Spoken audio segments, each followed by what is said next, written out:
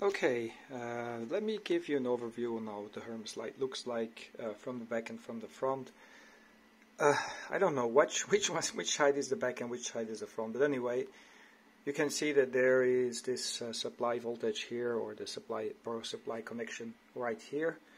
Uh, you need also, of course, a network cable because it's uh, where the data is going from the Hermes Lite to the computer and here you have different lights um, that uh, will give you an indication what's going on.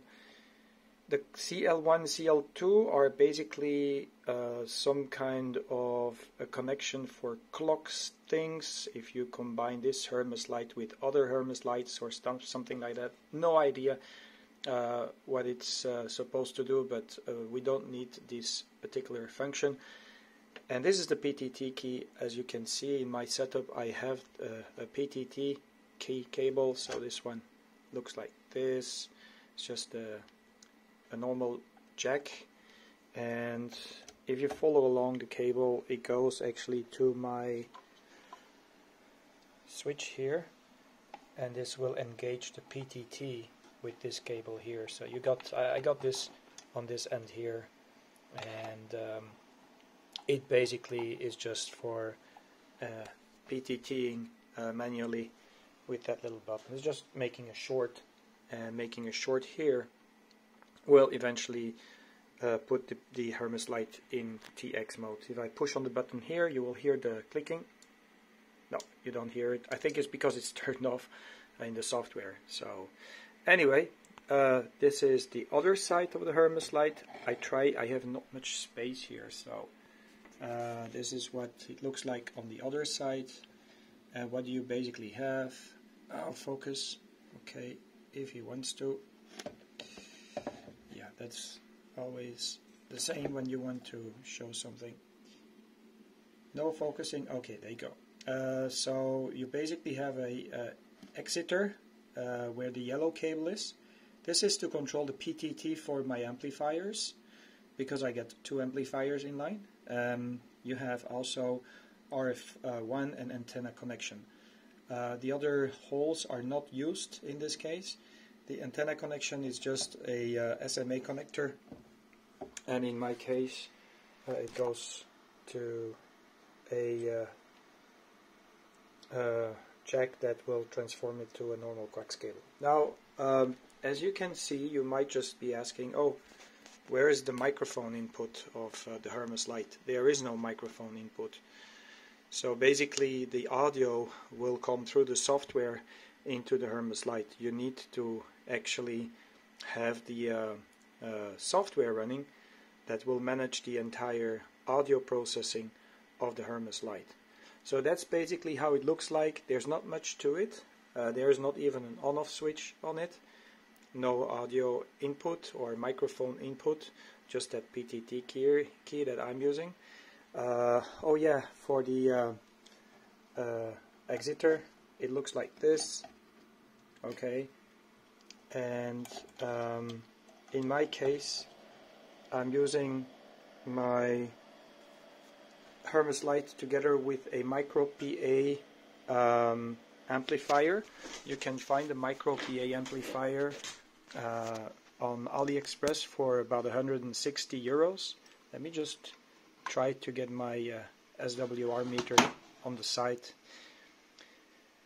This is the Micro PA.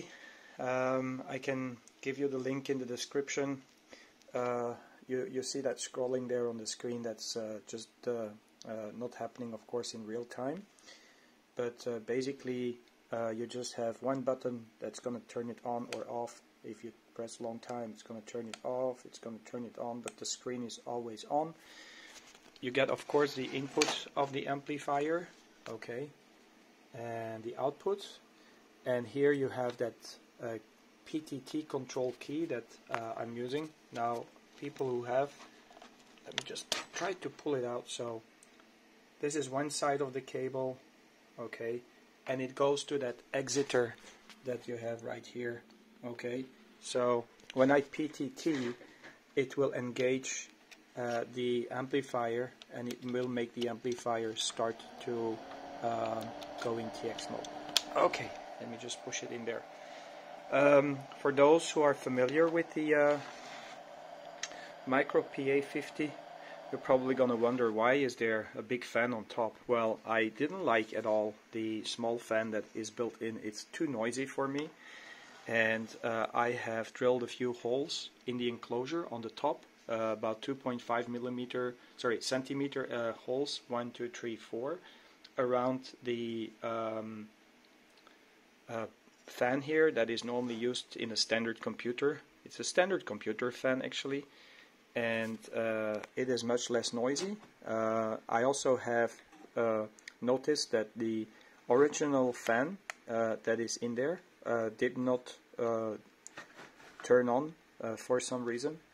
it seems to be a hardware failed fan, so I didn't even bother to change and put a normal fan on there.